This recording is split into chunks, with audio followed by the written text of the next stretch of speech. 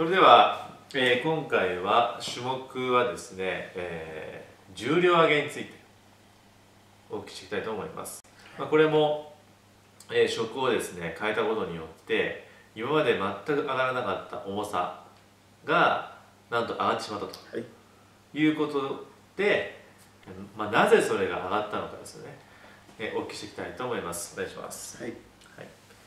まあ、なぜそもそもその持久力だけじゃなくてですねそういった重量上がってしまったというか、はい、現象が起こったんでしょうか。それは、はい、まあ実際はあの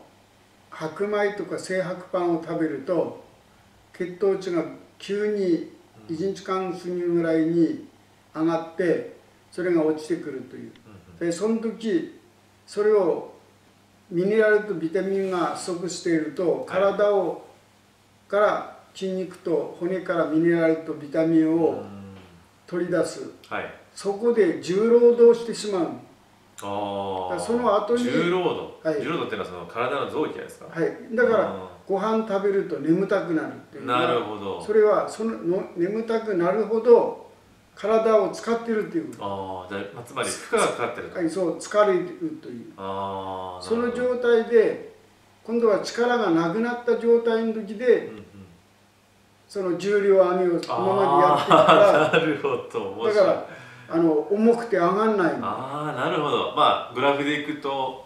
食べて、うん、本来はピークに力が発揮できないといけないのに、はいはい、まあ、血糖値がガーッと上がってしまって、はい、力がなくなっていくと体の、その力がなくなった時に、まあ、普通は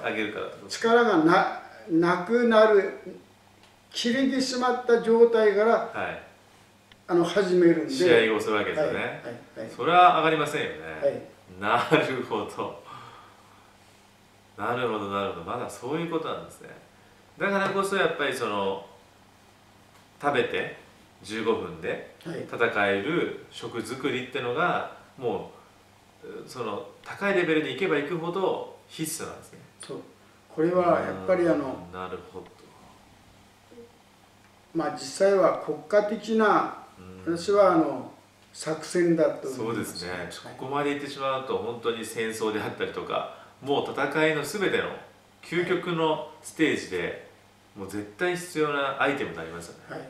まあそういうレベルからこういった食、まあ、アスリート食を作っていたってことなんですね、はい、いや本当にこれ貴重すぎるぐらいの お話をありがとうございます。まあ今あの本の中であるこういった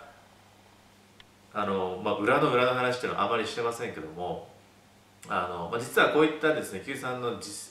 実績や経験をもとに一般人向けにですね、まあ、誰でも実践できる形に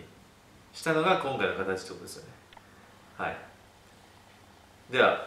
えー、マウンテンバリアルですねの次は、えー、重量上げ編ですね今回、はい、これで終わりたいと思います。ありがとうございました、はい